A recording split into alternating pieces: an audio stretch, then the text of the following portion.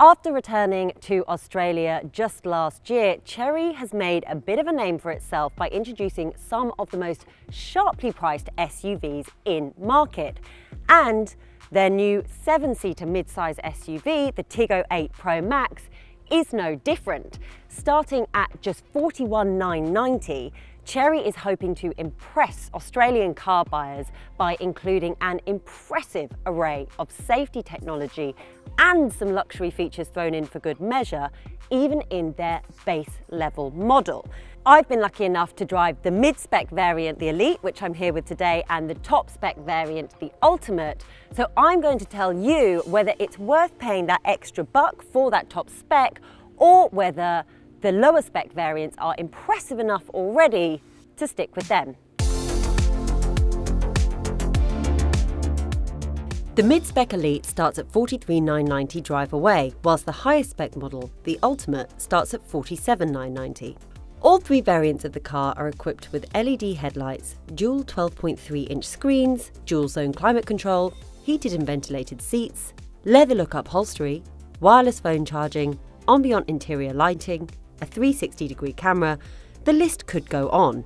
The Elite adds a power operated tailgate, heated side mirrors, and built in dashcam, while the Ultimate is all wheel drive has larger 19 inch wheels, a 10 speaker Sony sound system, privacy glass, and a panoramic sunroof. Buyers looking for other seven seaters within a similar price bracket have the Mahindra XUV 700, the LDV D90, Nissan X Trail, Mitsubishi Outlander, Mazda CX 8, and the Volkswagen Tiguan Allspace to choose from.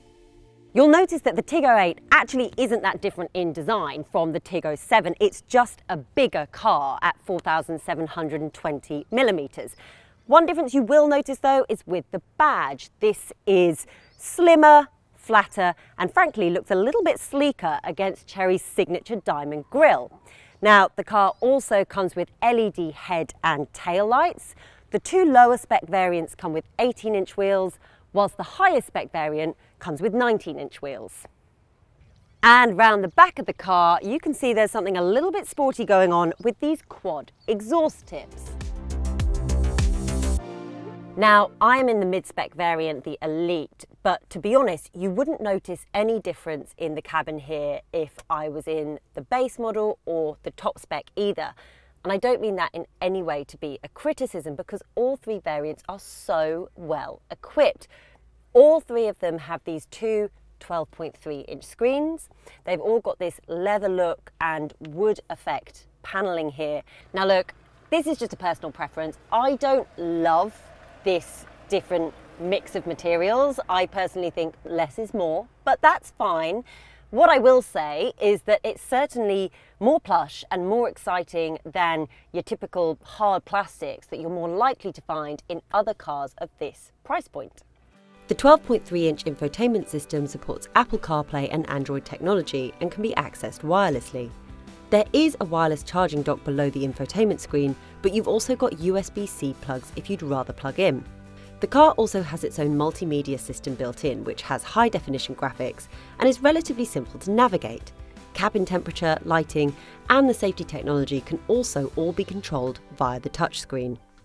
So below this infotainment screen here, you can see that you've got this panel of touchscreen buttons here that control temperature, etc. And then below that, you've got this large central console, which has got big storage bin, you've got cup holders, USB ports, you've got a wireless charger, all great, plenty of storage, but because of the sheer size of this central console, it does rather impede the space around both me in the driver's seat and the passenger as well. It kind of eats into legroom just a little bit. But back to the good stuff. Here in the driver's seat, I have got plenty of comfort. These electrically adjustable seats are nice and bolstered. And let me tell you, having done a three hour drive in this car yesterday, they felt good throughout, which is great. The steering wheel as well comes with some leather features. And then finally, in the top spec model, the Ultimate, you've even got a little fragrance dispenser in the car, which is great if you've got a rather pungent passenger. Now, Let me know what you think about the interior of this car. Does it impress or do you think there are other models within the same price bracket that do it better? Let us know in the comments below. So in this second row, you can see that I've got quite a nice amount of room to play with. I'm 171 centimetres for context, so you can see leg room there and also headspace, which would be impinged a little bit more in the top spec Ultimate because you've got a panoramic sunroof. Now, there's also an almost flat floor, so you can quite easily fit three adults in the back here relatively comfortably. And also, if you're popping child seats in, then you've got ISOFIX points and also top tether points. In terms of amenities, not much to complain about here. You can see that the door bins aren't huge. I can't really fit my drinks bottle in there very easily, but there are cup holders here in the middle. You've also got a USB-C and a USB-A port, directional air vents, and map holders here as well. So if you're looking for a seven-seater, I imagine that's because you need a seven-seater. So it's a little bit strange then that it's a bit tricky to actually get into. Unless I'm missing something, this is all the room I've got to get into the third row. Not great for anyone. Well, it turns out there is another step in the process to slide that second row seat forward, making access to the third row much easier than I thought. However, if it was confusing for me, it means it isn't very intuitive. Might need a family demonstration before you all pile into the car. Once I've managed to get into the third row, then look, it's not bad. I wouldn't want to be the one that pulls the short straw and has to sit in the third row here as an adult, but you can see I've got a little bit of leg room. That's if the person in front of me is a six foot two adult. I'd rather have kids in the back here though. I think it's a bit of a squeeze for adults. You've got a few amenities. You've got cup holders here and you've actually got some coat hooks behind you as well. Now, in terms of boot space, you've got 117 litres when all three rows are being utilised, but when the third row is flat, you've got 479 litres. How does that compare to competitors then? Well, in the Mitsubishi Outlander and the Honda CRV, for example, you've got a little bit more room when all three rows are up, but a little bit less room when the third row is flat.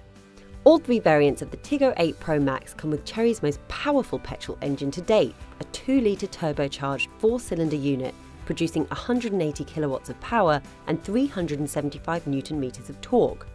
The car has a 7 speed dual clutch transmission. How does this compare to its closest rivals? Well, the Mitsubishi Outlander ES and the Nissan X Trail ST, both the entry level variants of those cars, have 2.5 litre engines and power outputs of 135 kilowatts. There are six different driving modes in the Ultimate, three of which accommodate off-roading. Meanwhile, in the Elite, you've got three different driving modes, normal, eco and sport. Now, because the mid-spec Elite, which is the car I'm driving now, and the base level variant, the Urban, are both front-wheel drive, they are about 105 kilograms lighter than the all-wheel drive model, which is the highest spec Ultimate, and you can certainly feel that. When I was driving the Ultimate, I found it a little bit unwieldy, and bear in mind that was with just two passengers in the car when it has the capacity for seven. For example, turning corners felt like a bit of an effort. Comparatively, this Elite feels much more composed to drive. There's certainly no lag in the power when I'm taking off, and it's relatively smooth. Don't get me wrong, I can feel when I'm going over potholes and undulated surfaces, but the car recovers itself very quickly. It's not the most powerful or dynamic car to drive, but in my opinion, it just doesn't need to be. It's a family car, it's a family SUV designed to run around the suburbs. It does exactly what it says on the tin. My complaint would be that I'm finding the braking a little bit soft and spongy.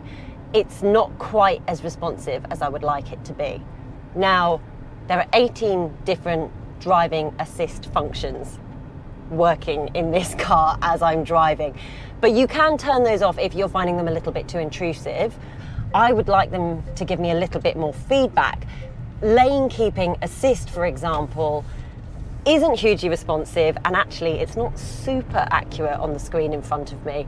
The other thing is the speedometer. It's so small and it doesn't change or alert me if I'm going slightly over the speed limit, which of course I know I shouldn't, but if I'm going 61 in a 60 zone, just let me know. So visibility out the front, great. Front window, nice and large. I've got these two big side mirrors here. Out the back, not so great. Bizarrely, the rear view mirror has kind of got this fisheye effect. So it makes everything look much smaller and much further away, which is quite disconcerting. Now, Chery claims a fuel efficiency of 8.1 litres in the Tiggo 8 Pro Max. I've only driven the car briefly, of course, but I've returned a fuel reading of 8.8 litres during my short time in the car.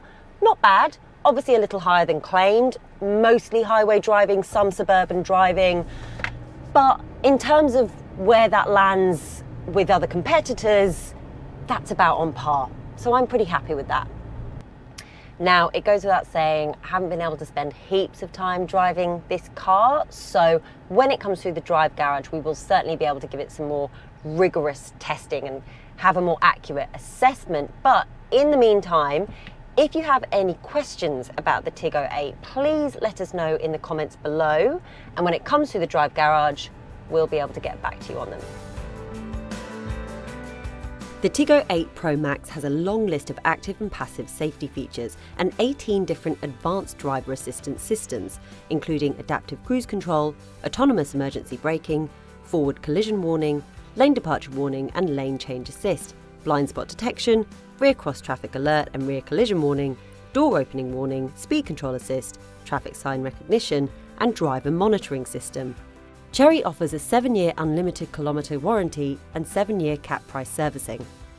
If you and your family are regularly towing or going camping or going off road, then perhaps the all wheel drive model, the top spec Ultimate, is the right option for you. And at 47,990, who can argue with that? However, and bearing in mind I haven't yet driven the base model, the Urban, so we'll have to wait until that comes through the drive garage for our final accurate assessment. But putting that to the side, given all of the equipment, the safety technology, the luxury details, the quality materials that you get in all three specs of the Tiggo 8 Pro Max, I actually don't think you need to go top spec to get the best out of this car. And quite frankly, I enjoyed my driving experience in the two-wheel drive better. So with that in mind, for now, the Elite is the one for me. The Tiggo 8 Pro Max is heading to showrooms this month, so head down and take one for a test drive yourself. If you enjoyed today's video, then please click the like and subscribe button and head over to drive.com.au for more excellent news and reviews.